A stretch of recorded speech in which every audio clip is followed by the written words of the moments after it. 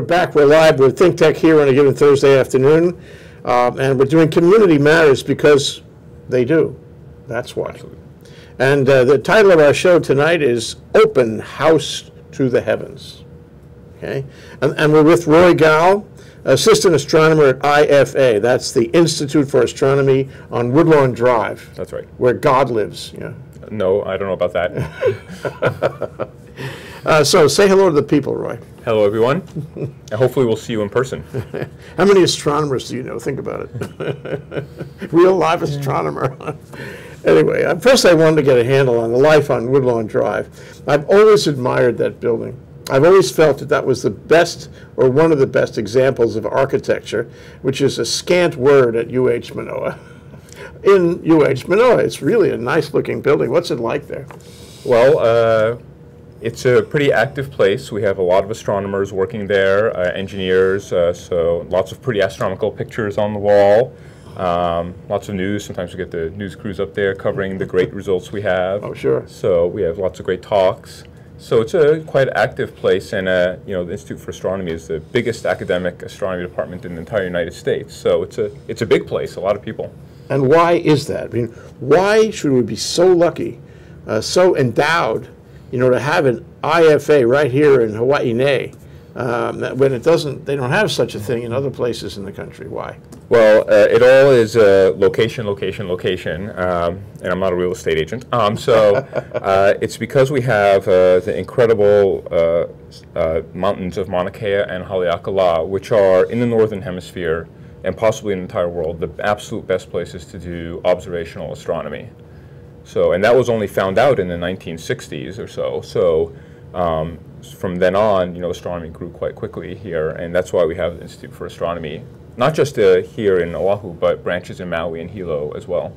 Yeah, and there, there's some kind of space facility too, isn't there, in Hilo on the Hilo campus?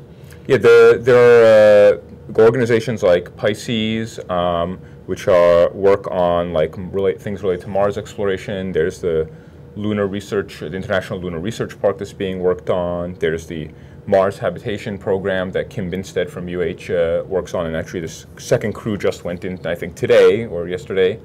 So a lot of space-related research here, not just straight looking at the stars. You say it happened in the 1960s. What was the aha moment that we all of a sudden knew that we were in a great place for astronomy? Well, you know, telescopes have always historically been built in places where there's mountains, so you get above the city lights and some of the clouds, um, dark locations, and it was an idea by, uh, and I don't know the history in detail, but uh, the idea was, oh, wait, maybe Mauna Kea is a good place to do this. And actually, people didn't know until some monitoring stations were set up there and the conditions were very quickly found to be incredible. Very high image quality because you're above a lot of the atmospheric turbulence, very dry, which is very good. And so very shortly after that, the first telescopes, uh, uh, including the UH 2.2 meter, went up and really showed that, wow, this is an amazing site. Who pays for these? These, these are expensive, uh, you know, uh, equipment. Sorry, uh, various organizations, the Summit of Mauna Kea is really like a pan-world or mostly a pan-Pacific observatory. Um, the telescopes are all partnerships, really. Uh, the Subaru telescope is Japan's national observatory here in Hawaii, mm -hmm. um, so that was paid for by Japan's taxpayers. The Canada, France, Hawaii telescope is a partnership between, you can guess, Canada, France, and Hawaii, so those uh, entities paid for it. NASA has its infrared telescope facility, so that's paid for by all of us uh, through taxpayer dollars. The Keck observatories are a partnership between the University of California system and Caltech and are paid for by them and were initially paid for by the Keck Foundation who gave of order $200 million to have them built. So there's many different partnerships. Gemini is a big international partnership with the US as the main partner, but it has Australia and Canada and others, uh, Argentina, Brazil, Chile are all partners in that program. So it really brings a lot of international science and international funding to, uh, to Billions. Hawaii. Billions. Well, once uh, we talk about the 30 meter telescope, uh, then yes, that's a one and a half, roughly a one and a half billion dollar project. Yeah. I want to talk about that. I want to reserve the last part of our show to talk about that because I mean, I'm very interested in that. Um, You know, and right now you have, what, 12 up there? 12? Yeah, uh, that's right. Telescope facilities, and the TMT, the 30-meter telescope, be the 13th. That's, uh, I believe, correct, yeah. Yeah, yeah.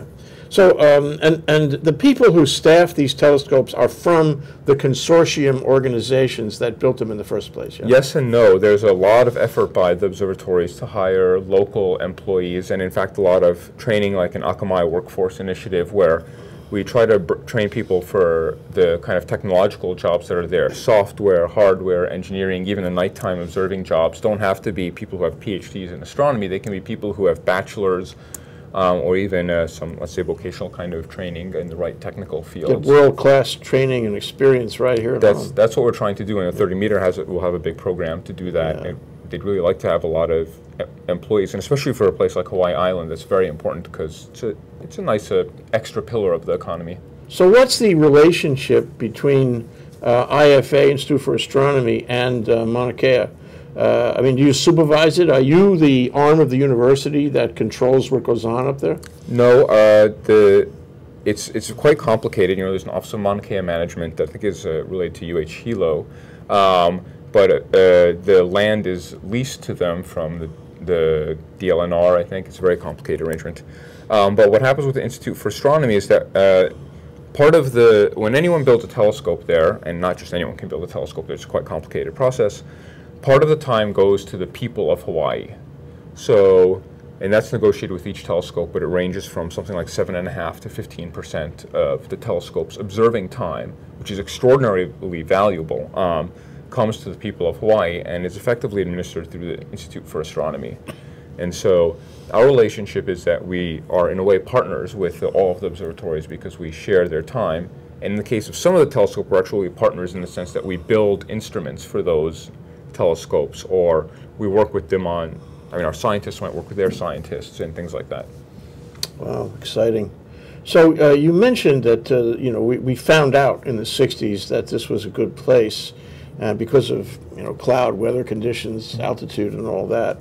Um, but it's not the only only place, is it? I mean, I know that, for example, there's there's no place in the U.S. quite as good as Mauna Kea. That's right. There are places in the mainland U.S., like uh, near Tucson, in Arizona, and in New Mexico, that are good observing sites, but they're they're not as high, they're not as dry, and what we call the atmospheric seeing, which is the what we see as a twinkling of stars with our eyes, that looks pretty to us, but is terrible for astronomy because it's actually the blurring, the focusing and defocusing of the starlight by the turbulence in the atmosphere.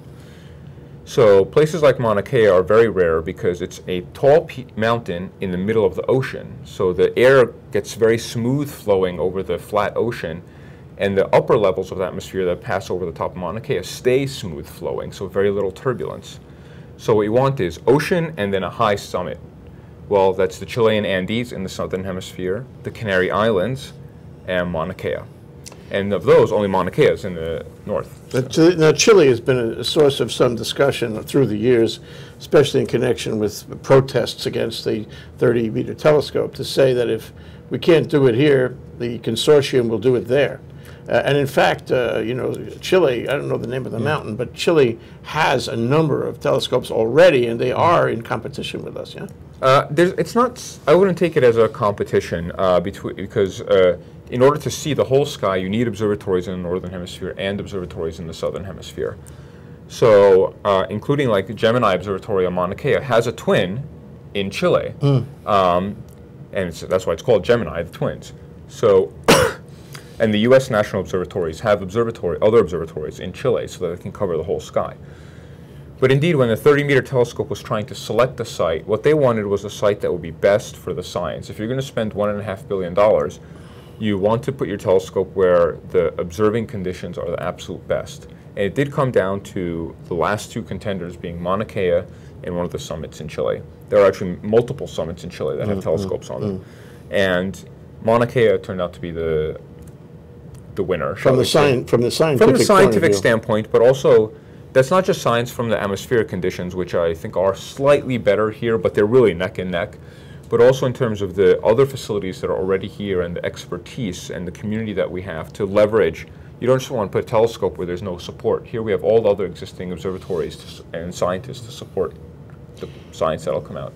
So let, let- let's, let's shift to that. Well, actually, let's take a mm-hmm. break and shift. Okay. to that. What I want to talk about with you after we come back from the break is how you get into astronomy. What makes you do that? Uh, and what kind of a life is it, you know, intellectually and acad- academically? Uh, and what kind of a life is it at IFA? What do you do all day? Huh?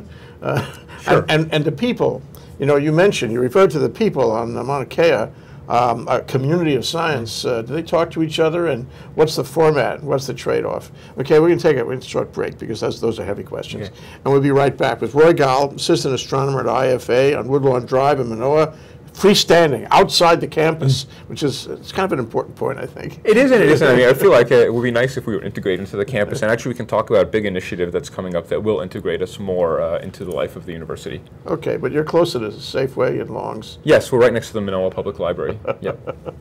And this is uh, Think Tech Talks, Community Matters, because they do. Open, open house to the heavens. We'll talk about that too. Right back, right back after this break. Aloha, I'm Nicole Horry for Think Tech. For nearly half a century, the Hawaii Foreign Trade Zone Number 9 has brought the benefits of the Foreign Trade Zone program to Hawaii businesses and entrepreneurs. DBEDT, the Department of Business, Economic Development and Tourism, operates Hawaii's Foreign Trade Zone program to encourage international business and economic development. The Foreign Trade Zone's mission is to increase the amount of international trading activity in Hawaii, thereby providing employment opportunities for the residents of our island state. For more information, see ftz9.org. I'm Nicole Horry. Mahalo. Okay, we're back. We're live. This is Think Tech Talks here on a given Thursday with Community Matters because they do. Talking about Open House to the Heavens with Roy Gal, assistant astronomer at IFA, the Institute for Astronomy, a really wonderful school institute, if I may, at UH Manoa. So, uh, Roy, what's what's it like? I mean, did you have a moment, an aha moment? You were a kid. You know, everybody wanted to be a locomotive engineer, right? And they want to be an astronaut. Ooh, maybe that's part of it. Eh? Uh, what what got you into this area? Well, uh, I don't know the exact moment. I actually grew up in New York City, uh, where you can't see very many stars. So it wasn't looking up at the beautiful night sky. Um, yeah, I was always kind of scientifically inclined. Actually, much of my family is, so maybe there's a genetic component. I don't really know.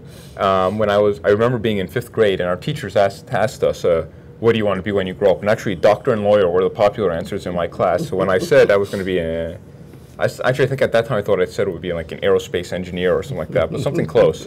And everyone looked at me like I was uh, out of out of this world. And uh, I don't know. I just found find it fascinating. I think it really has really interesting questions and stuff that's hard to wrap your mind around, and yet we can wrap our minds around it. And so that, to me, that's fascinating. Well, I see a number of interesting elements. I mean, one is the equipment itself. From the days of Galileo, we've we've gone a long way, um, and I mean, and that's interesting all by itself on on the, on the equipment and the I guess the physics and and uh, optical aspects absolutely. of that, and, and, and metal metal uh, rather Yeah. material science. Absolutely, forth. yeah. Uh, and and look now, 30 meters wide, and I read that there's going to be one that's three times that, 90 meters wide. Uh, it's downscaled to I think 42 or 36 now, Yeah, okay, but that they're was the original idea. Yeah. Okay. Anyway, um, you know, and so um, here we are uh, investigating the heavens, and this has to set up metaphysical issues for you. This has to make you wonder about the origin of the of the universe and uh, man's relationship to things way beyond that we can't see or understand. You you must think about that, don't you think about that? I think about that all the time, and as the main, as the, the sort of outreach coordinator for the institute, I get asked those kind of questions a lot. So uh, it, and people have very many different viewpoints on that, as everyone knows. So I think, uh, to me, uh, I'm very like physics reality based person, and to me, it's interesting how complex the universe is. It's interesting questions of whether there's life out there and things like that. We can discuss later. Uh, uh, I think, to me, the Do you most think they're listening to us? well, uh, you know, our radio signals have only been going out into space for 70 years, so it is possible, based on the, you know, the latest results we have, actually, that include University of Hawaii astronomers, that some life out there has uh, heard our uh, broadcasts. Um, maybe it's not intelligent life, so they don't have receivers. I don't know. But uh, the, um, I think to me the most incredible thing, and what is in a way mind blowing, is that we have these small sort of half pound brains in our head, and they have actually been capable of revealing so much about this incredibly vast and complicated universe. And uh, that to me that should be inspirational to everyone and to especially to the kids we talked about you know how do you become an astronomer or something like that i think that's a it's a revelation to think that just those eight ounces can do so much and we all have that capability within us with the right training and the right inspiration and the right motivation It's a lofty career for sure. I, I'm, I'm I- joking. yeah to some i guess So, what kind of you know subjects did you have to study to become a real li- real live astronomer? Well, astronomy is really just the physics of the universe. So uh, you go to an undergraduate program, and most of the people do physics. Sometimes there are astronomy or astrophysics majors. Actually, UH is about to introduce one next year. Um, and that it consists usually pretty much of a physics major minus some physics classes plus some astronomy classes. And then you go on, and if you're going to do research, you do a PhD in, in astronomy at a program like the one at the Institute for Astronomy. Um, but some It's a PhD program. A PhD Are you a graduate of that or some other program? No, I'm a graduate of uh, Caltech's PhD program. Okay. But we have about 40 graduate students uh, over five or six years, so we produce about five PhDs a year. What what kind of jobs do they get? Is it all academic or No. Well, it's it's the telescopes, I guess. Uh, our our PhDs, and just like PhDs uh, anywhere else in any other field, uh, spread out once they've uh, gotten their PhDs. So they have jobs uh, at teaching universities, at research labs, at um, more uh, academic places. So it's all over the map today what you do in uh, astronomy. There's no, there are very few places where you can be what used to be the, the armchair astronomer who sat there, did his or her research, um, and that was really the only thing that they had to do. Today you sort of have to be a little bit of a jack of all trades where you have to be able to teach well, you have to be able to speak to the public, you have to write grants, you have to use your telescopes and all kinds of things like that. Forgive me, but I'm driven by curiosity. It makes me do the, all of this. What was your uh, PhD dissertation? What was the subject? I studied, and I still study, um, clusters of galaxies. Um, so galaxies like the Milky Way that uh, we, the sun is part of, um, are grouped together in the universe. They're not just randomly sprinkled throughout. We're part of a group of galaxies with us and the Andromeda Galaxy and a bunch of smaller galaxies. But there are bigger agglomerations of galaxies called clusters that have hundreds or even thousands of galaxies that are all held together by their mutual gravity. And uh, so I was actually looking for those and trying to catalog them and look at their distribution, which actually offers us clues to the structure of the universe. And today I actually study how galaxies that live in these clusters evolve, how they change over time, and we see that they change differently than galaxies in groups like the Milky Way and then galaxies that are more isolated. And the physics is very complicated, and so that's what we're trying to do by looking back in time, sort of by doing galaxy archaeology. That's pretty interesting, and, and wow, it's physics, is what it is. It is- it's physics. It's not theoretical physics; it's real physics. You know, it's, it's real physics, but it's physics that you can't touch. That's the amazing thing about astronomy is it's all remote sensing. Yeah. Um, so we can't stick our hand, thermometer in the sun. We can't go directly put a galaxy on a scale. We have to infer the properties of these objects using light, using our knowledge of physics, using math. Um, so to me, that's it's incredible that we can actually unravel all of this with what we know today. a question I've been meaning to ask for a long time, but I'll ask you: What is the difference? What is the relationship? Uh, what is the exchange between the Institute for Astronomy and the Institute for Interplanetary Geophysics Yeah, so SOEST? yeah? Yeah. So You're not part of SOEST. we are not part of SOEST. SOEST is its own uh, organized research unit. We are an organized research unit. SOEST is a School of Ocean and Earth Science and Yeah, Technology. there's a school, and then there's a, yeah, so it's, the university structure is complicated, but we have people who work together and who collaborate on some of the planetary stuff. There's an especially strong connection via an organization called the NASA Astrobiology Institute, um, which is a competitively funded institute at the university that brings together astronomers, geophysicists, planetary scientists, biologists, oceanographers, Wow. and uh, uh, it's uh, the PI is Karen Meech, who's at the Institute for Astronomy. She's done work on like comet missions and things like that. Um, but the goal of the UH NASA Astrobiology Institute is specifically to understand the origin of water on Earth. So we have to understand our water, we have to understand water in the solar system and how it gets to Earth. So that requires all of these organizations to work together. And we do have a few people at HIGP, the Institute of Geology and Planetology, Planet- planet- yeah. that uh, that uh, work with some of our astronomers, but they're more focused on the rocky stuff in our solar system, and we're more focused on the stuff looking far out. Far out, far out. Not so Oh. far. A lot. We have a lot of solar astronomers, for instance. That's, maybe sun. that's another title for the program, right? You know, IFA is far out. Going far guess, out. yeah. Anyway, I wanted to, you know, I want to touch on the fact that uh, you talked about outreach. You're the outreach person. You're also the quote assistant astronomer. what is that? I mean, what do you do every day over at IFA? Okay, so uh, the assistant means it's just a cla- faculty classification level, or it's assistant, associate, and full. It's like junior in between and the senior. Um, so I do research, I teach, I do our media stuff like I'm doing with you, and I try to coordinate um, all of our programs that go out to the public, whether it's uh, being in schools, public star parties. Actually, we can talk, I hope, a little bit later. There's an eclipse next week, no, two weeks from now, um, that we'll have a big public event for, uh, to which everyone is invited. It's free. Um, so I, I, day in and day out, I answer a lot of emails. Um, I write research proposals. I'm in the middle of writing a proposal for Hubble Space Telescope. I do appearances like this. Um, I coordinate events like the open house that's coming this Sunday. So I'm our representative to the Gemini Observatory. So it's kind of like a jack of all trades. If I was in the English department in Manoa and I thought, "Hey, I'd really like to take an elective at IFA, could I? And if I did, would you be the teacher? Uh, I have been. The class that you would probably take is Astronomy 110, which is Survey of Astronomy. A few hundred students a year take that. Really? Um, and it is designed to be an introductory astronomy course for people who will not pursue astronomy or any science major. It fulfills the university's science requirement, and uh, that's a great class to take to get just an overview. There are a little bit higher level classes that you can also take as electives. There's an astrobiology class, very fascinating, a class on galaxies, and now that we're about to start um, a number of astronomy majors, um, we will have a more upper level, 200, 300 level classes. What probably 200 level you could uh, sit in and uh, take it as an elective. That's great, you know. Anyway, the other thing you mentioned I wanted to pursue was this whole notion of collaboration.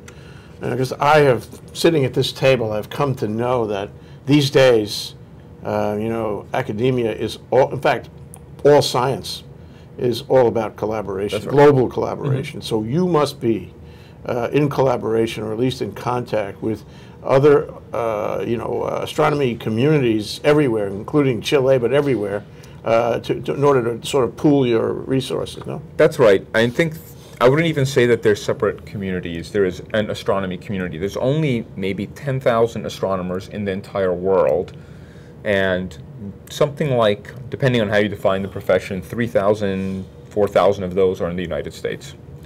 So, and we all know each other, and we've moved around a lot. I mean, for instance, I was an undergrad in New York at Columbia. I went to Caltech. Then I was at Johns Hopkins, at UC Davis, at University of Virginia, and then here. So I have p- people I work with at many of those institutions. I love that pattern. yeah. So, and that's the typical path for an astronomer is to do a number of shorter positions before they have a long-term faculty position somewhere, mm-hmm. if they even get a long-term faculty position or go work in a national lab or something like that.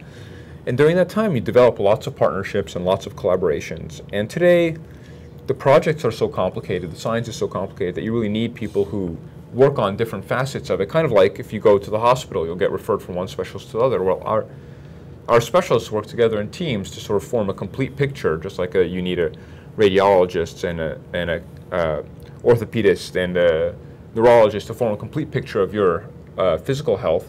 You need that to form a complete picture of whatever objects or phenomena that you're studying. So we have people who specialize in X-ray astronomy or radio astronomy or optical astronomy or on topics like black holes or galaxies, and then you bring that together into a collaboration to understand what's happening physically in a system.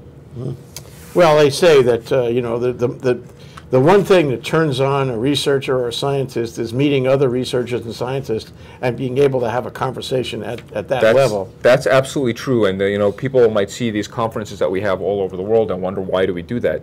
There's nothing like that one-on-one contact uh, uh, to really energize you, but also to spark ideas. I mean, even your landscapers or your architects or whoever, it's that conversation and that discussion that goes, oh, wouldn't this be a great idea?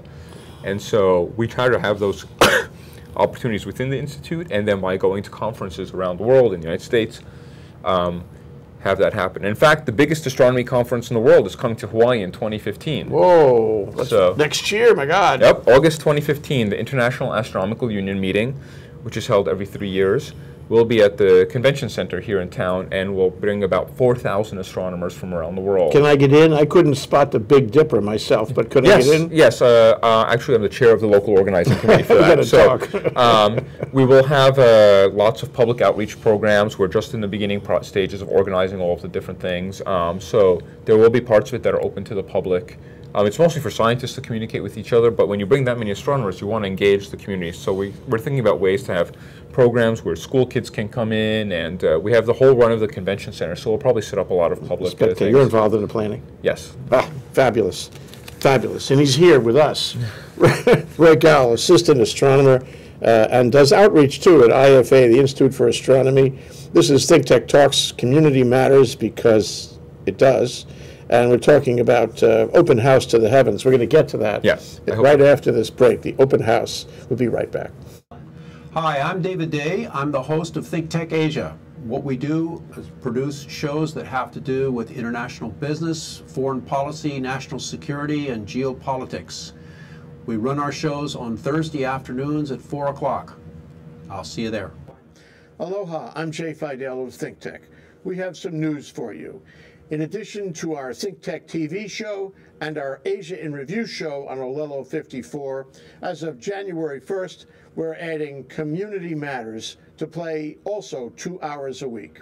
Check out thinktechhawaii.com for the specific times of each of these shows. We hope you enjoy all three. Mahalo, I'm Jay Fidell. Aloha, I'm Maria Kashem of Think Tech Hawaii, and I want to tell you about our Think Tech talk shows. If you didn't know it, Think Tech streams video and audio for all of its shows live on the internet from 2 to 5 p.m. every weekday afternoon, and we replay them all night long on Ustream.tv. Visit ThinkTechHawaii.com for our live stream and YouTube links. Raise your awareness on Think Tech. I'm Maria Kashem, and I'll see So you we're there. back, we're live, we're at ThinkTech Talks, we're talking about community matters because it does. Talking about open, open house to the heavens with Roy Gal, assistant astronomer at IFA.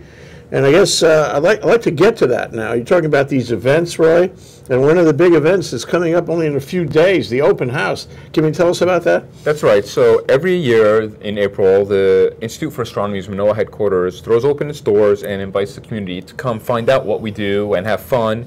It's super family friendly. We typically have something like 1,500 people come. Oh, um, so it's this Sunday, April 6th from 11 to 4. Our address is 2680 Woodlawn Drive. You can find out about it on our Facebook page. We're UHIFA on Facebook or on our website, ifa.hawaii.edu. And um, we have lots of, there's something like 40 activities, not just from us, but from other observatory partners and astronomy partners. So I brought some goodies to show of examples of some of the things that we'll have there. This is a, a pre, a forerunner now of what's going to be shown on, on Sunday. That's right. Okay, let's, let's look at it. We're going to take a minute and look at show and tell. That's right. So, um, Marshall, can you zoom in? Okay, Let's we're start gonna- with we're this see this up close. So I brought this in. This is a relatively small telescope, but it's a special kind of telescope. It says danger. No, it says Ranger. Oh, Oh, it does say danger. danger. Yes. it says, so. uh, read manual before use, or else. Yes, so this is a, that's because this is a telescope for observing the sun. Now, usually if you look at the sun with your eyes, you should never do that, you will go blind. You should never do it with sunglasses. But this is specially designed to isolate one color of light from the sun that's produced by hot hydrogen gas.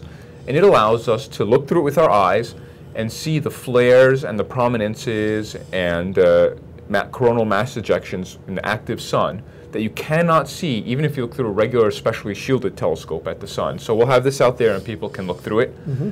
And that's an important thing I want to say about the open house. It's not just come see what we do. It's come do what we do and have fun with us. That's great. So Can you take that cap off so I can see I can. inside It's just a It's just a lens. it's a lens, and in here is actually something called an etalon that allows it to isolate the wavelength of light that you're looking at. It's actually adjustable, so you can tell whether the prominence is moving towards or away from you How by do you, do- how do you isolate the, the wavelength? It's. I don't want to get into the physics of it here now, but uh, you, I can't there's a get this at home. You can. You can buy this online. It's called a Coronado. There's a personal version. It's like a thousand or twelve hundred dollars, and this slightly nicer version is about two thousand dollars.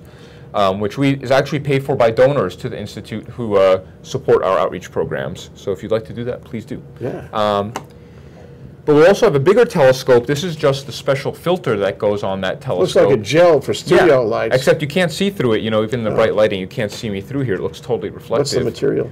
It's a special, uh, kind of like a mylar. It lets through only 0.01%, so one ten thousandth of the light. This you put on our big telescope, well, biggish telescope, and you can safely look at the sun with it and Uh-huh. see the sunspots and details on the sun, and we'll have that out too. You know, it's Manoa, so it could well be cloudy, but uh, usually we've had pretty good weather. Okay. We'll have lots of activities. You can make a comet. You'll we'll have an infrared camera. Can, okay, well, you can, did you say make a comment? We'll make a comet. So comets, make a comet? Yeah, How do you do comets are we call them dirty snowballs. So they're ice and rock. So using a combination of dry ice, ice, and dirt, you can make something that uh, looks and behaves like a comet, and can even you'll even be able to make little explosions that'll blow apart the comet. What's the difference between a comet and an asteroid? Increasingly murky question. Oh. So it used to be comets are these icy bodies that come from the most of them come from the Oort cloud far out in the solar system, but there are inner solar system comets like Halley's comet. Um, the comets are mostly ice with some rock, and as they come in, the sun heats them up and they outgas, and you see the beautiful tail when they're close to the sun. and asteroids are chunks of rock left over from the formation of the planets in the solar system.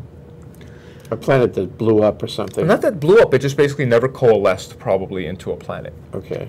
The gravity of that Mhm. planet didn't hold it. It, it never got together, you know. Okay. But Superman had nothing to do with no right? Superman, yeah. Okay, right. Um, at least not that I can tell you.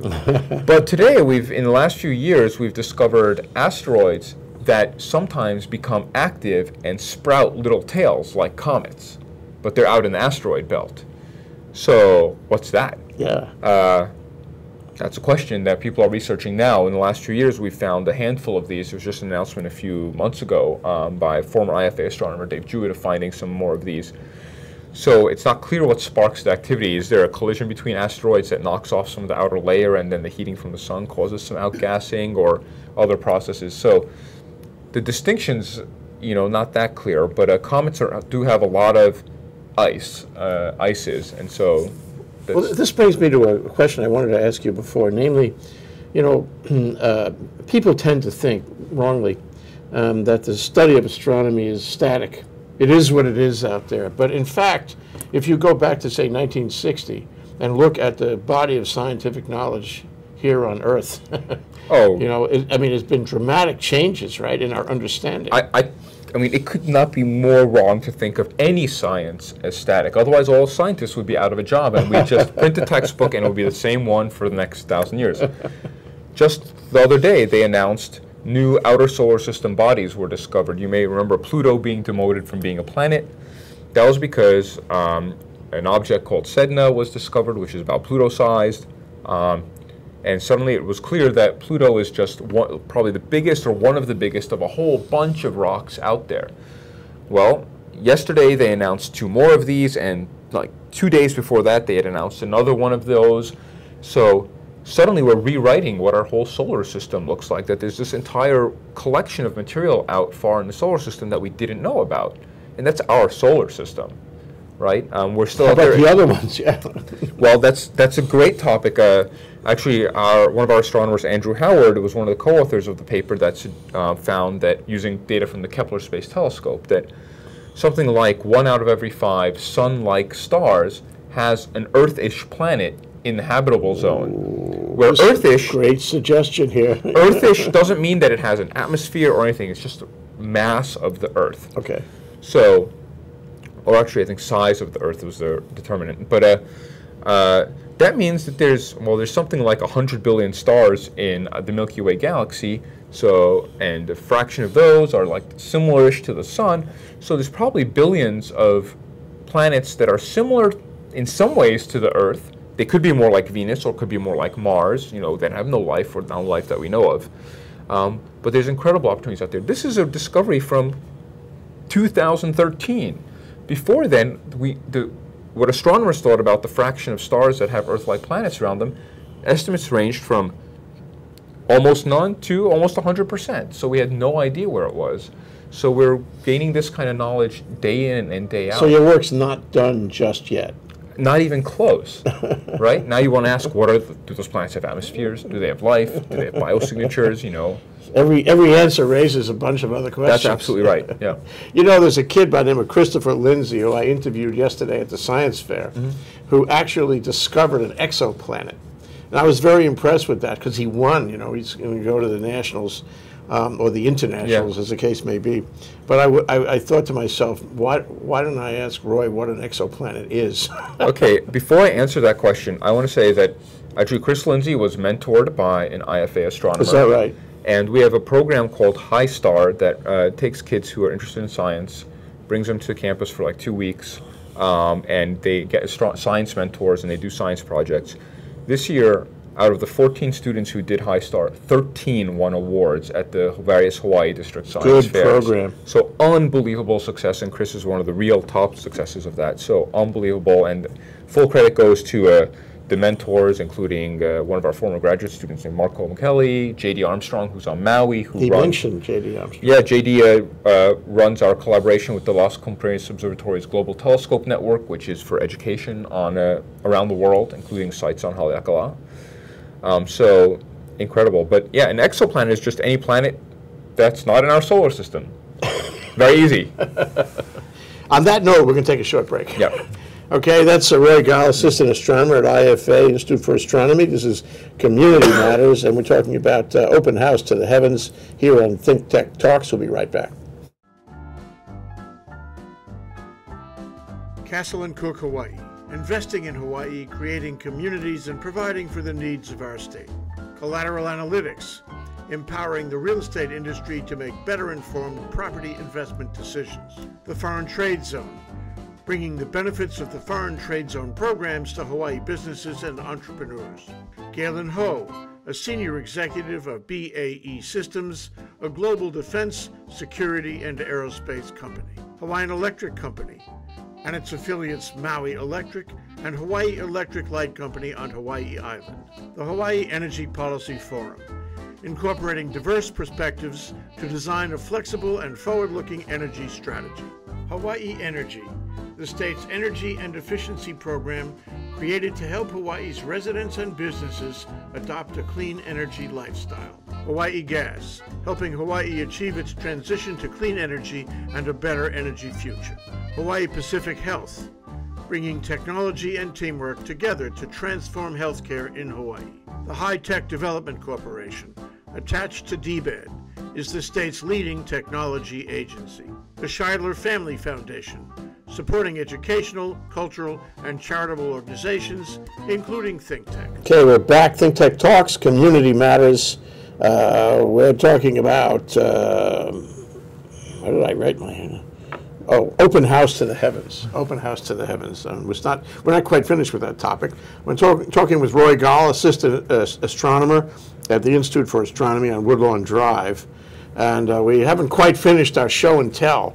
So Okay. maybe you could uh, give us some more of those things there. Absolutely. And I, I, just to hop back to the last second really quick, I want to also credit Mary Kadooka for the High Star program. She actually runs the program. She's a former uh, high school physics teacher. And so that's why she's so great at running this kind High of Star program. program is supposed to mentor kids in yes, high school middle, like middle to high school kids. Yeah, for science fair kind that's of right. projects. Yeah, you can if they look at the IFA website and search for hi, H I S T A R, they'll find it. You know, is, is astronomy becoming more popular in this generation? Uh, I know, you know, science in general seems to have a real attraction these days.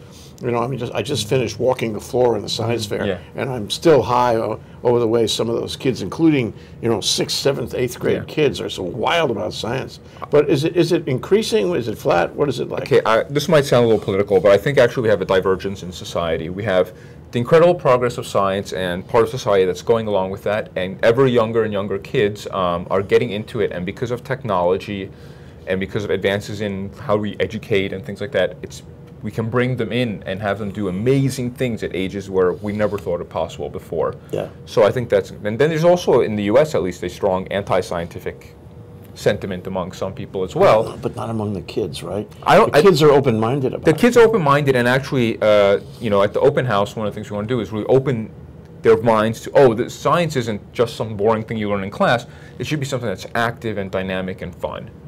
So, as an example of that, I mean, one thing that's really popular now is Lego.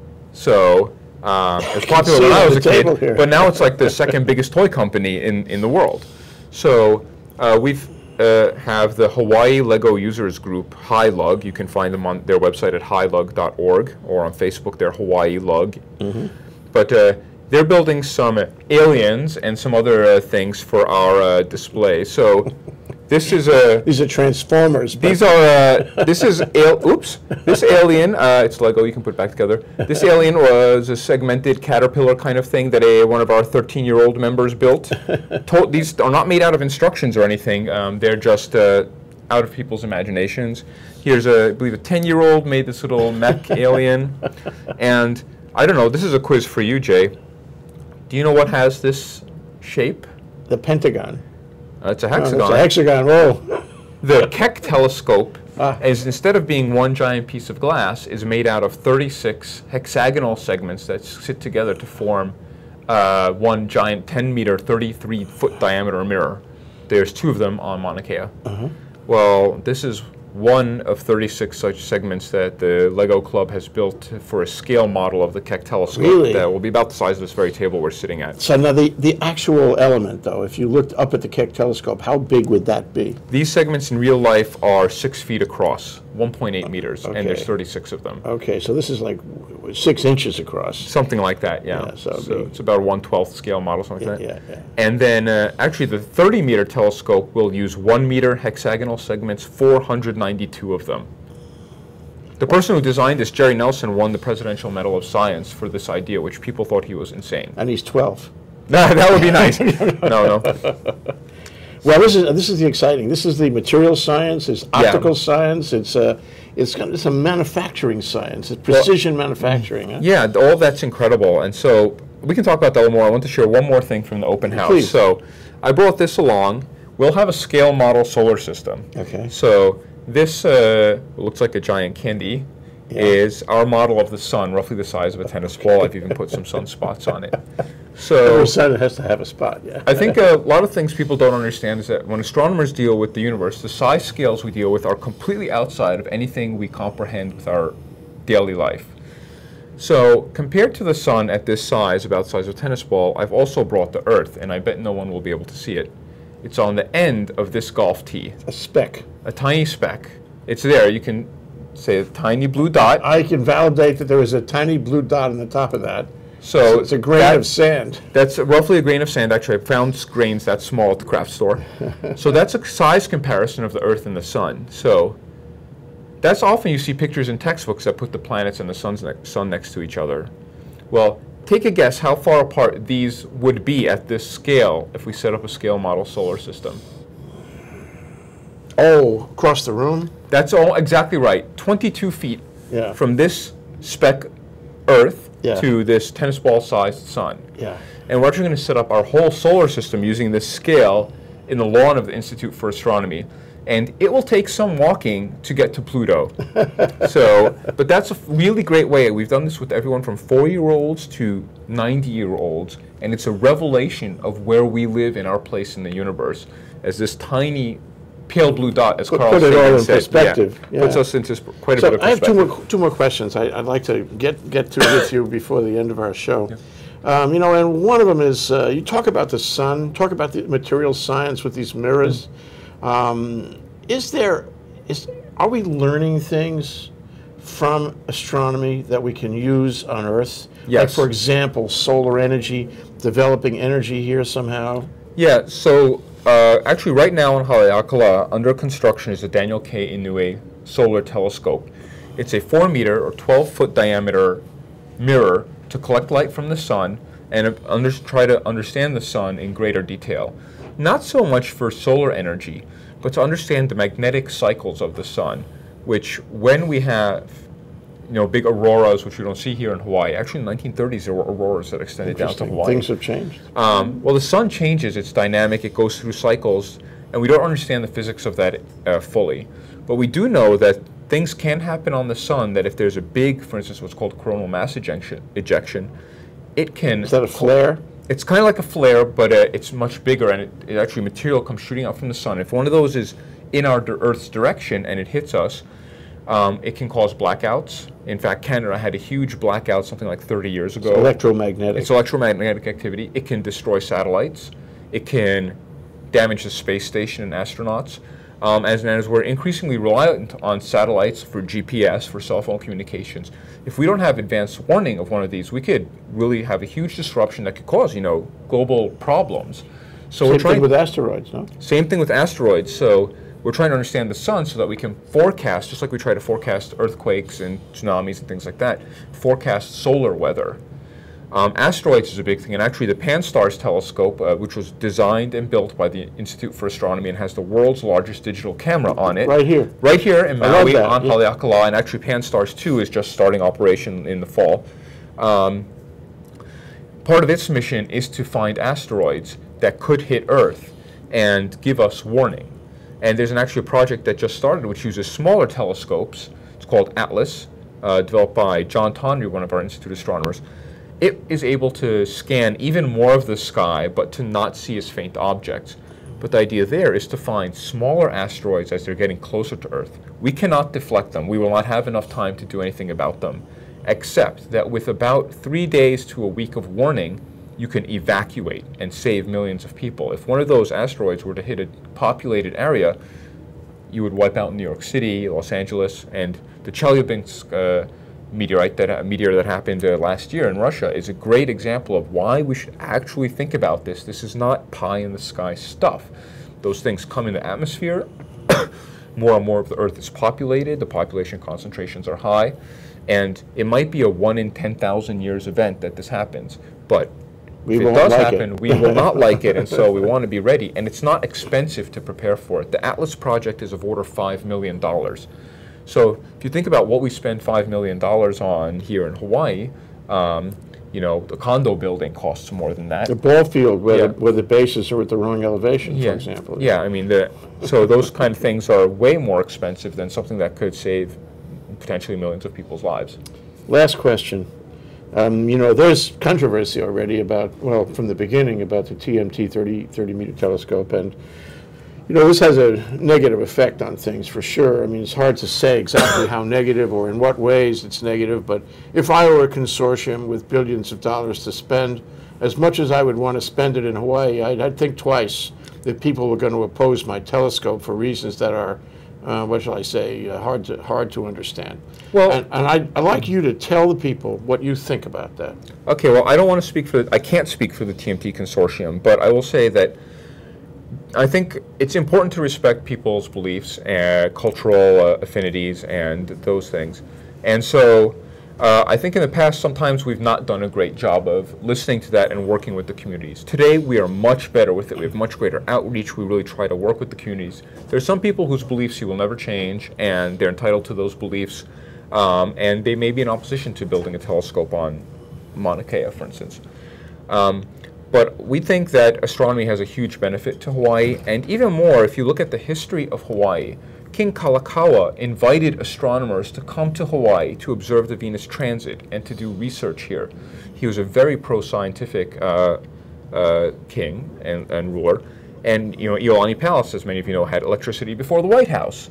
So I think, uh, and of course, the Polynesian navigation is incredible and has this amazing renaissance, but that is astronomy applied to a real world problem um, that really is why we even have people in Hawaii and the Hawaiians are here. So I think there's a great cultural and historical connection between Hawaii and astronomy. And so, you know, for some people, that's trumped by the cultural importance of Mauna Kea.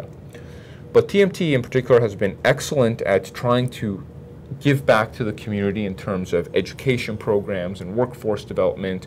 They'll be spending a million dollars a year on some of those programs uh, as construction starts later this year. Just uh, yesterday, a judge in Hilo affirmed that the conservation district use permit granted by the DLNR to um, the TMT consortium is good. There was a challenge to that. So um, it's, but that's true everywhere. You know, there are people who have different viewpoints, and I think it's important to not be dismissive of those, but to be respectful of them, and see how you can, if even if you won't agree, I mean, how you can move ahead. And some people will just always disagree with you, but uh, you know, you don't. You should still treat them respectfully. Know, That's what we're trying to do. Roy Gal, assistant astronomer at IFA, uh, an area which is one of Hawaii's greatest resources. It is one of the great resources of the university, and astronomy is one of the great resource, resource, resources of the state. This is Think Tech. We're talking community matters. We're talking about uh, uh, open house to the heavens, which is this Sunday, April the 6th. and you can come down there. What time? 11 a.m. to 4 p.m. On Woodlawn Drive. Yep. Okay. Thank you, Roy Gal. Absolutely. Thank Great you. Great to have you here. That was a great conversation. Aloha. Thank you. The same. Aloha.